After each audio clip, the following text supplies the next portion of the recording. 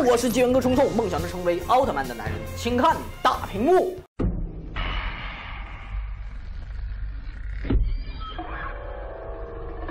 有人知道他是谁吗？这期还是很有难度的，我在评论区等你们哦。上期我们的答案是 G。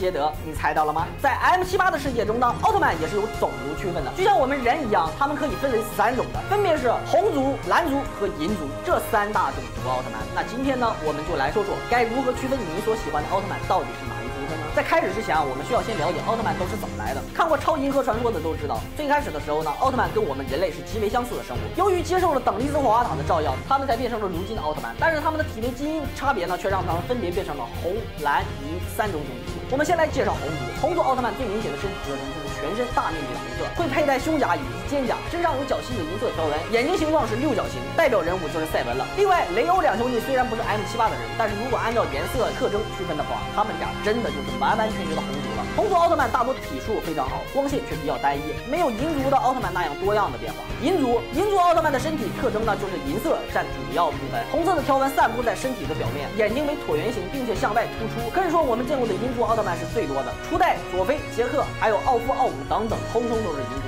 跟红族相比起来呢，银族更经常出现法师，他们的光线都相当的强大，像光线小王子艾斯，还有单体最强光线的佐菲大人。蓝族蓝族的奥特曼主打色为蓝色，全身上下包裹着银色的条纹。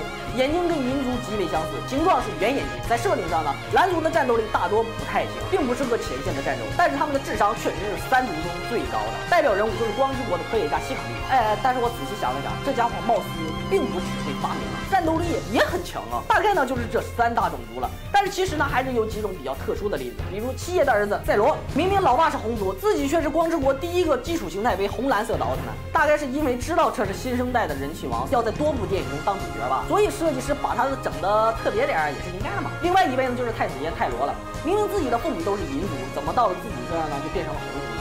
很多人都在说奥姆其实有隐藏的红族基因的，也就是说泰罗的外公外母还有可能一方就是红族，所以大家也就别黑奥父戴绿帽子了。当然，实际的情况就是当时远古出的时候根本就没有考虑种族这一说法，所以大家也就不要为这种事情讨论了。至于奥特之王，应该是最神秘的了，四肢呈现紫色，而且眼睛通红。说实在的，我也不知道他到底算哪一种，谁知道答案可以告诉我呀？好了，今天的节目呢就到这里，感兴趣的朋友们可以关注我们的动漫新源，我是纪元哥虫虫，梦想成为奥特曼的男人。我们下期再见吧，拜拜。